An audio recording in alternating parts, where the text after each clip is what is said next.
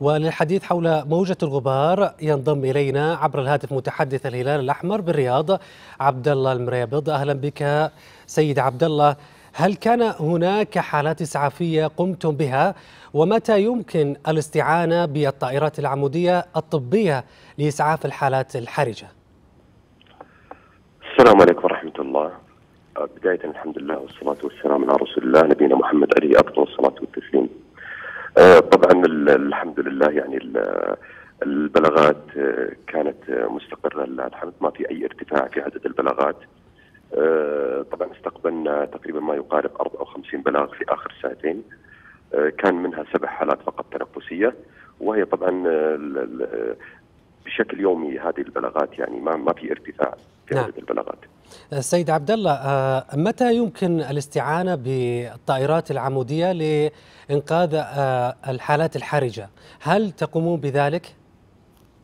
طبعا الطيران أو الإسعاف الجوي هو الآن متوقف طبعا وإن شاء الله في طور إن شاء الله إعادة تشغيله.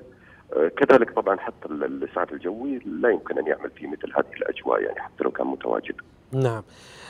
في حال كانت هناك حاله حالة حرجة سيد عبد الله يعني على الطرق السريعة يعني على خارج مدينة الرياض، هل تقومون بإسعافها وما هي الوسائل التي تتبعونها؟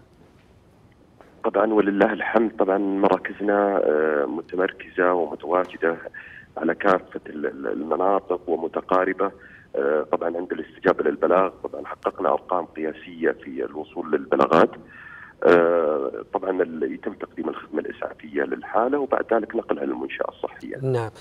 ما هي الخطوات التي يقوم بها الهلال الأحمر في مثل هذه العواصف الرملية سيد عبد الله؟ طبعا من أو من بداية وصول اللي هي التحذيرات من الهيئه العامة للأرصاد تم طبعا بث الرسائل التوعوية والتثقيفية عبر مواقع التواصل الاجتماعي كذلك عبر الصحف الإلكترونية بعد ذلك طبعا قام مدير عام فرع الهيئة بمنطقه الرياض الدكتور راشد برفع حالة الاستعداد والاهبه لكافة المراكز الإسعافية لتلقي أي بلاغ وسرعة التوجه نعم. ما هي أوجه التعاون بينكم سيد عبد الله وبين القطاعات الأخرى؟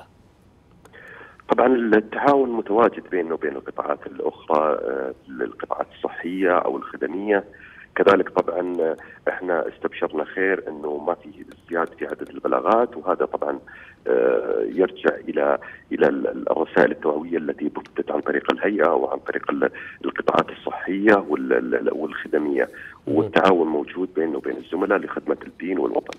نعم، إذا كان معنا من الرياض متحدث الهلال الأحمر السيد عبد الله المريبض، شكرا جزيلا لك.